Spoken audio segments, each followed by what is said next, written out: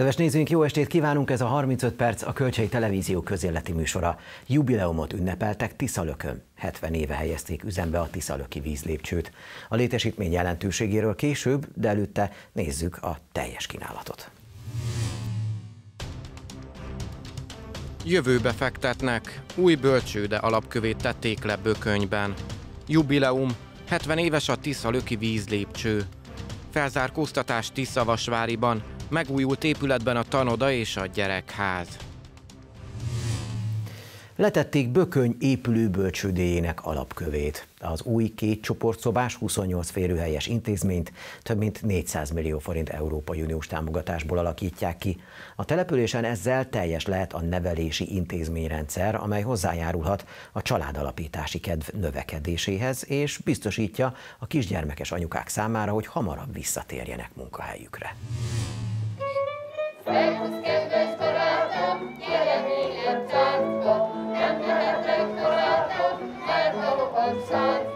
Az ünnepi műsort előadó óvodásoknak még nem volt lehetőségük bölcsődébe járni Bökönyben, a tőlük fiatalabbaknak hamarosan azonban ez már megadathat. A falak már állnak, jó ütemben halad a település új 28 férőhelyes intézményének építése. A bölcsivel teljessé válik Bökönyben az oktatási nevelési intézményrendszer, a beruházást követően ráadásul öt új munkahely is létesül. Pap Csaba alpolgármester beszédében arról beszélt, régóta vártak a helyiek erre a beruházásra. A terület, ahol most állunk, hűen példázza a községünk sorsát, de egyúttal a benne rejlő lehetőségeket is. Talán soha nem volt ennyire fontos, hogy megmutassuk, oktatási rendszerünk a legalsóbb szintektől kezdve is állja a versenyt. Hogy a bökönyi szülők helyben is megtalálhatják a gyermekeik számára a legoptimálisabb feltételeket. Óriási mérföldkő a bölcsődei beruházás elkezdése, mivel régóta vártunk arra, hogy a legkisebb korosztály is méltó körülmények között intézményi keretekben nevelkedhessen. Ez a beruházás megoldást nyújt a településen élő édesanyák számára, hogy a gyermekvállalás után minél hamarabb munkába állhassanak. Sesták Oszkár a Vármegyei Közgyűlés elnöke azt hangsúlyozta, a bölcsődék működtetése ugyanolyan fontos ma már a kis településeken, mint a városokban. Ez pedig a munkaerőpiacra is élénkítően hat. Az a fontos, hogy egy olyan intézmény, amelyről sokáig azt tudtuk, vagy úgy gondoltuk, hogy ez egy városi találmány, egy városi kitaláció, mármint a bölcsőde, az minden településünkön, minden egyes olyan helyen, olyan településen, ahol ilyen gyönyörű, gyönyörű gyermekek vannak, rendelkezésre áll, ahhoz a családoknak, hogy eldöntsék, hogy milyen az óvoda előtt, a kötelező óvoda előtt, milyen módon gondoskodnak a gyermekeikről, és aki munkába akar állni, vagy olyan a családi körülménye, a kereseti lehetőség, hogy munkába szeretnének állni, az, azok megtehessék, annál is inkább, mert a munkaerőpiac az várja a megyei embereket, a friss munkaerőt, hiszen leginkább azért már a munka erő hiány jellemző a Vármegye munkaerőpiacára, úgyhogy ez, ezt, is, ezt a célt is szolgálja ez az intézmény. A Nyírbátori választókerületben az elmúlt tíz évben folyamatosan bővültek a bölcsődei férőhelyek, összesen 20 intézményt újítottak fel, illetve építettek. Erről Sima Miklós a térség országgyűlési képviselője beszélt Bökönyben. A politikus kiemelte, 2018 óta több mint 16 milliárd forintot költöttek oktatási nevelési intézmények korszerűsítésére és építésére. Nagy kő esett le a szívünkről, amikor tavaly értesültünk róla, hogy a helyreállítási terv részeként Bököny település egy új bölcsődét építhet. Ez azért volt, mert egyedüli nagy településként a térségben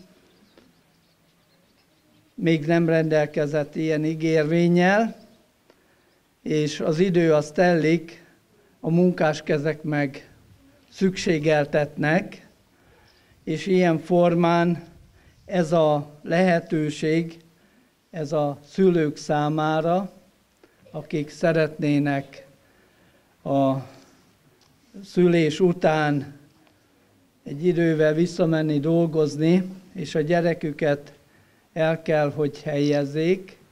Ez egy biztos hely, ahol a gyerek jó, a gyerekük jó kézben lesz, nevelik őket és vigyáznak rá. Kedves megjelentek, kedves vendégek, az elmúlt tíz esztendő alatt a választókerületünkbe 20 bölcsőde épült, illetve újult meg. Megújulásról azt úgy emlékszem, kettőről beszélhetünk, a többi az mind új bölcsőde. Ez az 20 új, illetve megújított bölcsőde, ez közel 6 milliárd forintba került, amely az Európai Unió jó voltából került támogatásra, de van ezek között eh, hazai forrású is, például a Káló Semjéni, és ilyen formán a TOP, a TOP plusz és a hazai forrás összegét jelenti ez a 6 milliárd forint. Ilyen formán szinte minden nagy településünk lehetőséget kapott a Fidesz-KDNP kormány és az Európai Unió jóvoltából. Emellett 13 óvoda újult meg, illetve épült, mert hogy van közte három új óvoda is. 19 iskola újult meg a tankerület jóvoltából, vagy részleges felújítás történt, itt Bökönyben is volt ilyen felújítás. Közösen adtuk át emlékeim szerint az elmúlt eszendőbe.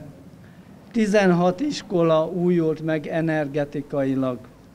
Ha mindent egybe veszünk, ez mintegy 14 milliárd forint. És ilyen formán nyug, nyugodtan mondhatjuk azt, kedves bökönyi polgárok, hogy az elmúlt 30 év alatt soha nem jött ennyi pénz az oktatás, nevelés ügyére, mint az elmúlt tízesztendőbe. Pontosabban 2018 óta igaz ez a 14 milliárd forint, ilyen formán ez azt jelenti, hogy az elmúlt 6-7 évben jött ez a 14 milliárd forint, 20, meg 13, ugye az 33, meg 16, az egy közel 50 intézményünk újult meg, óvoda, iskola, bölcsőde, és ilyen formán nincs olyan település, ahol ami nem részesedett volna ebből. Van olyan település, ahol mind a három intézményi megújult, mind a három oktatás-nevelési intézmény megújult, és ilyen formán a gyerekeink 21. századi színvonalú óvodákban, bölcsődékben, iskolákban nevelkedhetnek. Az új bölcsőde alapkövét Fülöp Attila gondoskodás politikáért felelős államtitkár jelenlétében rakták le. A politikus úgy fogalmazott, egy bölcsőde létesítése az életet szimbolizálja, különösen igaz ez egy olyan település életében, mint Bököny. Amikor egy új bölcsőde megnyílik, akkor az mindig arról a tanúbizonyságot, hogy egyébként az a település az a jövőben, a továbbélésben és a gyermekekben hisz és bennük gondolkozik. Amikor megépül ez a bölcsöde, és majd itt elfoglalhatják a fiatalok ezt a intézményt, akkor az pontosan ennek a tanújele lesz. És egyébként a bölcsödék megléte, az nyilván azt is jelenti, hogy azok a családok, akik ott laknak, akik itt laknak Bökönyben, ők a gyermekekben és a jövőben hisznek.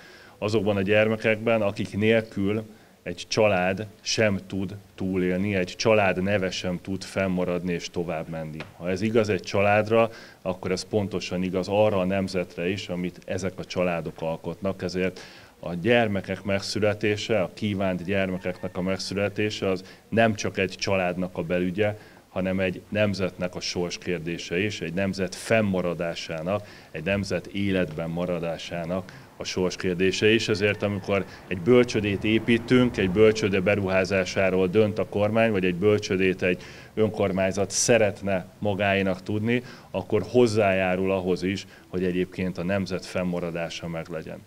Amikor egy bölcsöde majd készen lesz, akkor azt gondolom, hogy három részét vagy három hozzáadott értékét fontos kiemelni. Egyrészt nyilván itt a bölcsödében dolgozni fognak, új munkahelyek jönnek létre, aminek a polgármester úr, a polgármester úr majd várhatóan örülni fog a jövőben is, hogy ez így történik.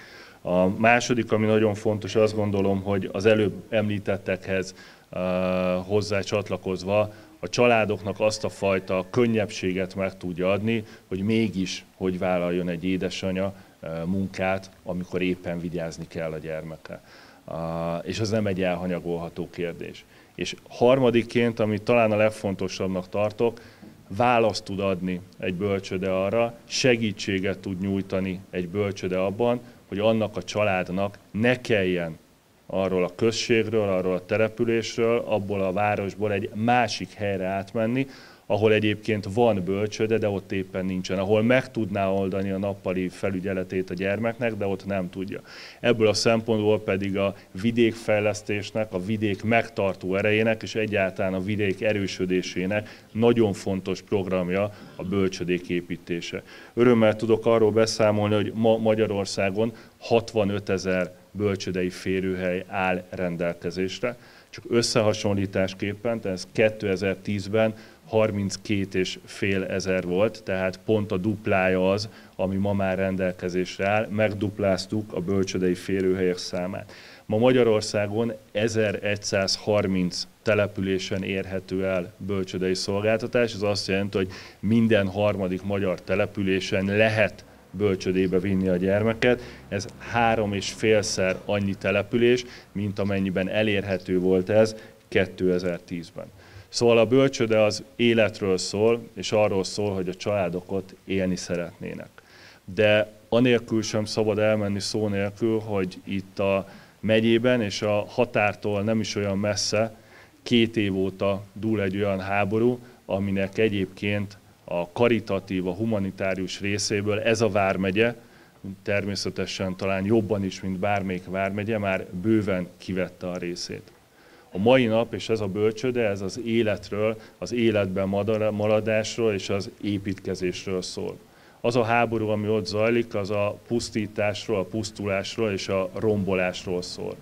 És a mostani európai helyzetben fontos kimondani és fontos beszélni arról, hogy az élet és az építkezés csak akkor maradhat fenn, ha sikerül békét teremteni a határon túlon is.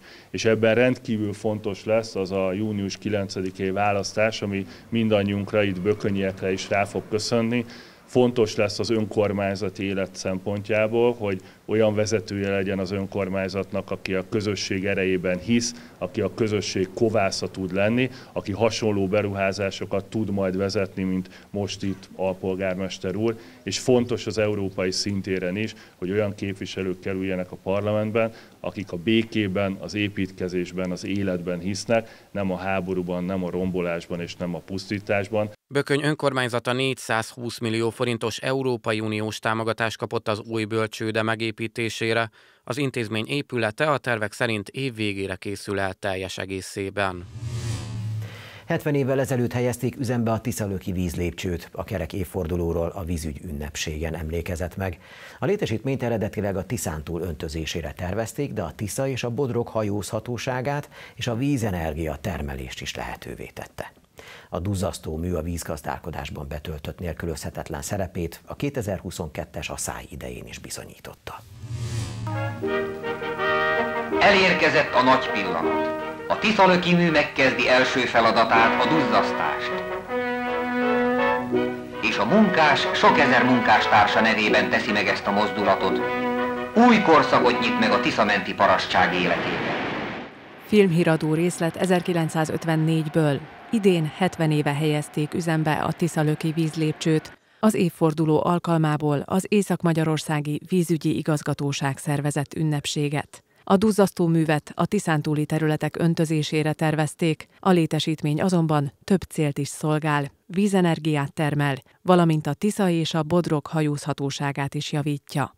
A 2022-es rendkívüli asszály újra ráirányította a figyelmet a vízkészlet gazdálkodásra, így a duzzasztómű a tervek szerint az Alföld csökkenő talajvízkészletének pótlásában kap nélkülözhetetlen szerepet. Annak idején talán a legelső célként megemlíthetjük, hogy miért épült az öntözés céljából, és ennek a létesítménynek köszönhetően közvetlenül ez a létesítményhez kapcsolódóan kb. 70 ezer hektár terület öntözése válik lehetővé. Valójában azonban ez egy több célú létesítmény, hiszen energiát is termel, és amellett, hogy energiát termel, a hajózást is tudja biztosítani a Tiszán a hajó zsülipével, de talán a legfontosabb szerepeként azt emelném ki, ami a közeljövőben várható rá, hogy vissza kell pótolnunk az alföld csökkenő talajvízkészletét, és annak egyik módja az lesz, hogy a tizedöki vízlépcső segítségével a keleti főcsatornán keresztül a tájba kiküldjük a vizet annak érdekében, hogy az beszivárogjon és a, a jelenleg csökkenő talajvíztrendet megállítsuk, és visszaadjuk a térségnek a, a talajkészletét, amely a mezőgazdaság számára az nagyon fontos. Az asszály a klímaváltozás miatt egyrészt ugye másképp esik le a csapadék, ami ö, csökkent a beszivárgás lehetőségét, másrészt a folyóink egyéb szakaszain a medrek süllyedése miatt egy leszívó hatást fejt ki a talajvíz fele, és ez a kettő folyamat okozza azt, hogy a talajvízkészletünk folyamatosan csökken, ez úgy éve, átlagban évente 2-3 cm is jelent. A kihasználása fog alapvetően változni. A közeljövőben én azt prognosztizálom, hogy a vízpótló szerepe ki fogja maxolni a keleti főcsatorna képességeit, amely jelenleg egyébként korlátozott, de remélhetőleg a közeljövőben meg tudjuk csinálni azokat a szelvénybővítéseket, amely a jelenlegi 25 köbméter per szekundumos kapacitás helyett 60 köbméter per szekundumos vízhozamot tesz lehetővé az Alföld irányába elindítani. A rendezvényen a vízlépcső tervezési és kivitelezési munkálatait irányító dr. Mosonyi Emil munkásságáról is megemlékeztek. 70 éve épült, május 9-én napra pontosan a vízerőmű, és a, a vízerőműről beszélünk, akkor mindenképpen meg kell említenünk dr. Mosonyi Emil professzor urat, aki a létesítménynek a főtervezője volt, illetve építés alatt a létesítményi főmérnöke. A professzor úr egyébként egy világhírű kutató, tudós, öt egyetemnek a díszdoktora, és egy valóban egy világhírű szakember. Magának a műtárgynak az építését a tervezés után 1950-ben kezdték meg, és 54-ben akkor május 9-én történt meg az üzembe helyezés. Azóta ez a, ez a mű ez nagyon sok dolgon átesett. Az eredeti céljai a Tiszalaki vízlépcsőnek azok azok voltak, hogy Tiszántúlon 120 ezer hektárnak az öntözése, állandó víziút létesítése Tiszán 80 km hozban, a Bodrogon az országhatárig 50 km hozban, és ugye itt van a, a dúzasztómű mellett az erőmű, ami egy 54 gigawatt per év teljesítményre lett akkor tervezve. Azóta, hogy átmenjünk a jelenbe, ezek a célok módosultak, különböző vízgazdálkodási célokkal egészültek ki, többek között a kőrösek vízpótlása történik innen a keleti főcsatornán keresztül, mint egy 40 köbméter per szekundumos vízkivétellel. Debrecen ivóvíztartalékát tudjuk innen biztosítani, illetve halászati és jóléti vízkivételek is történnek, de egyébként ennek a, ennek a műnek nagy szerepe van a vízminőségi kárelhárítás során is, illetve a Tokaj, Bodrog, Zug tájvédelmi körzetnek a, a jó ökológiai állapotának a biztosításában is jelentős szerepe van ennek a műnek. Illetve a megújuló energiatermelésben történt az erőműnél egy nagyon komoly fejlesztés, és most már az 54 gigawatt óra per év teljesítményhez képest most már 60 gigawatt óra per év megújuló energiát tud előállítani. És ahogy mondtam, hogy a múlt, ugye itt nagyon komoly jeges árvíz alakult ki például 2003-ban, 2017-ben. Komoly problémát okozott a 2000-es cianit szennyezés, ami szintén egy országos hírű esemény volt. Most ugye nem látszik, de minden áradáskor jelentős mértékű úszadék érkezik, és ez próbára teszi az erőművet és a duzzasztóművet. Ezért kerül sor 2019 és 2022 között egy KEHO projektre, és akkor mintegy 5,7 milliárd forint bruttó értékből történt meg egy komplex rekonstrukció. Tehát amit most látunk, az egy rekonstruált duzzasztómű és hajózsilip. A hajózsilipnek a rekonstrukció is megtörtént. Ez ugye, mivel komplexát érintette a, a duzzasztómű betonszerkezeteit, fémszerkezeteit, a gáttáblákat, hajózsilipet, támkapukat, üzemirányítás, monitoring rendszereket, szóval teljesen komplex is. Hát abban bízunk, hogy, hogy a jövőben még a száz éveset is, vagy ahogy a, az erőműveknek látjuk a, a múlt században épült erőműveket, még esetleg a 150-200 éves megemlékezés is megtörténik ennek az erőműnek. A megemlékezésen koszorút helyeztek el a dr. Mosonyi Emil tiszteletére állított táblánál. A rendezvényen a 70 éves évforduló alkalmából emléktáblát is avattak.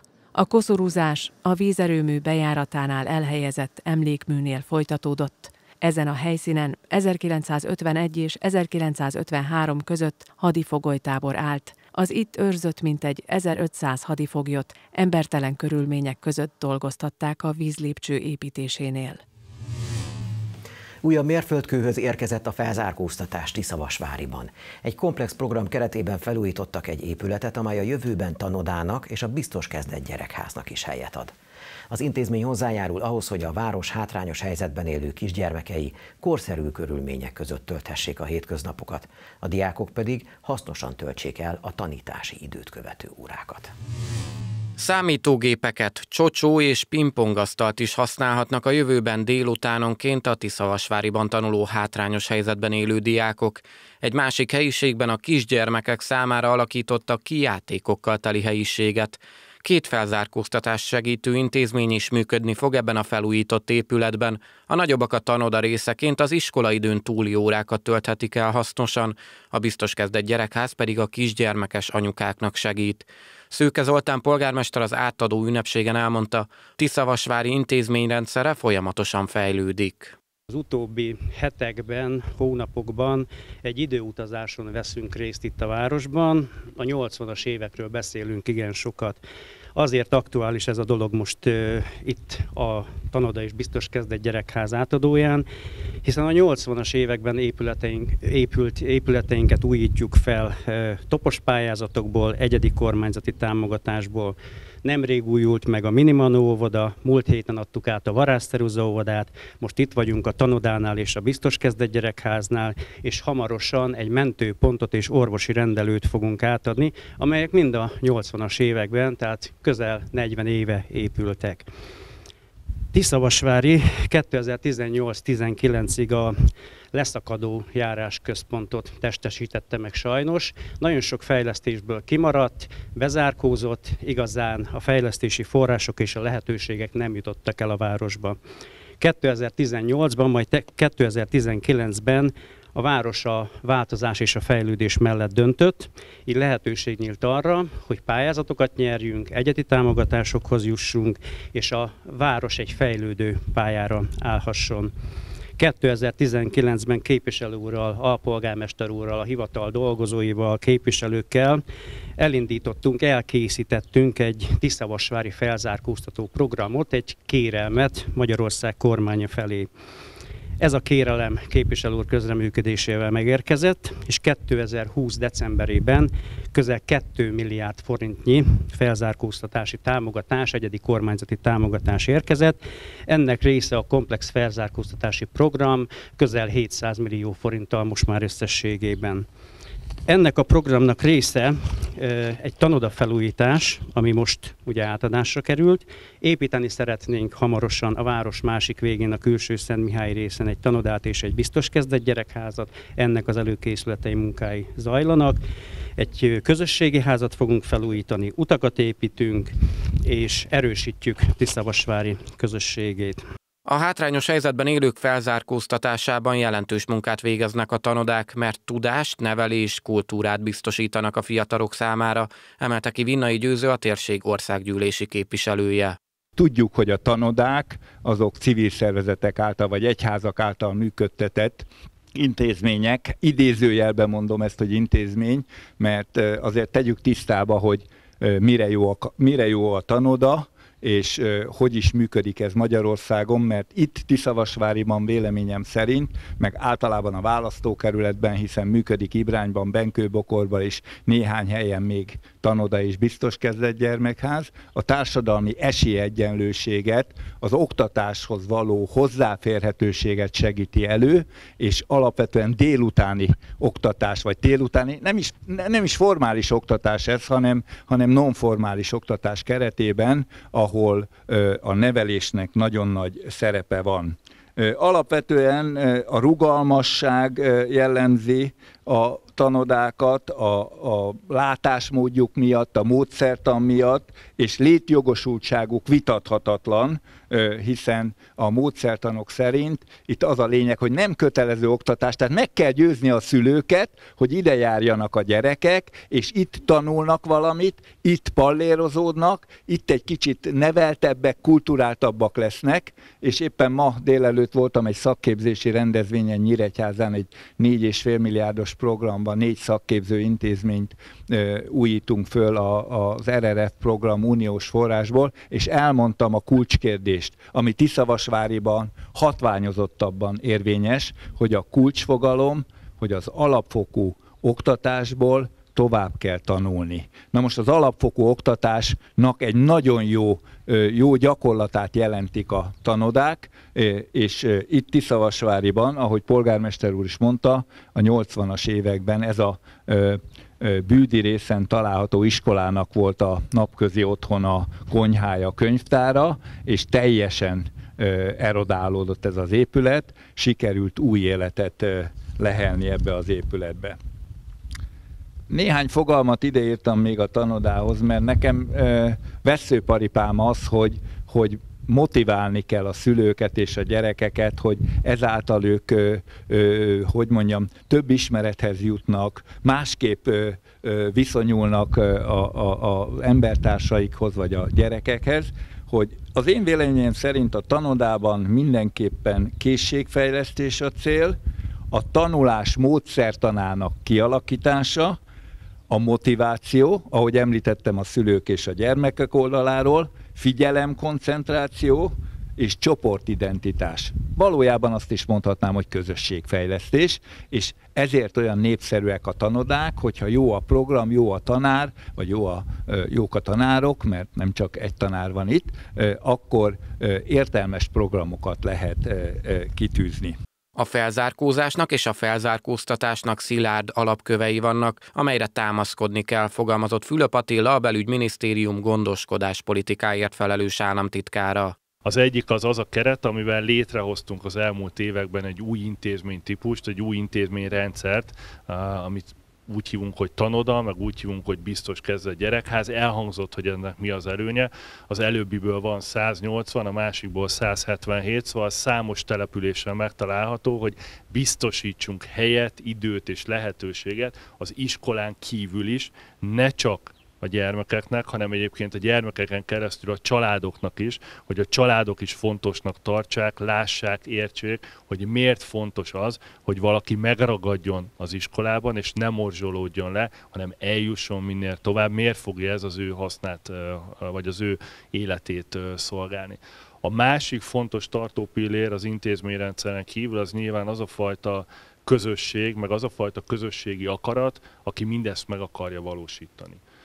Beszéltünk erről a programról korábban is polgármester úrral, és azt látom, hogy Tisza Vasvárinak ma olyan vezetése van, és olyan polgármestere, aki eltökélt abban, hogy a közösségben azokat is meg tudja szólítani, és azoknak is jövőképet tudjon mutatni, ahol több munkára, több melóra, több befektetett energiára van szükség ahhoz, hogy a felzárkózás is meg tudjon valósulni. Most ennek a kettőnek köszönhetően az elmúlt években Magyarországon nagyban nőtt a felzárkózás mértékbe, nagyban csökkent a szegénység, hogy csak egy adatot, mert itt el lehet veszni a számok tengerében, de egy adatot hadd mondjak, a súlyos anyagi és szociális nélkülözésben élők száma, szegénységben élők száma, és ez ráadásul egy EU által bevett statisztikai mutató, tehát minden országban ugyanúgy mérjük.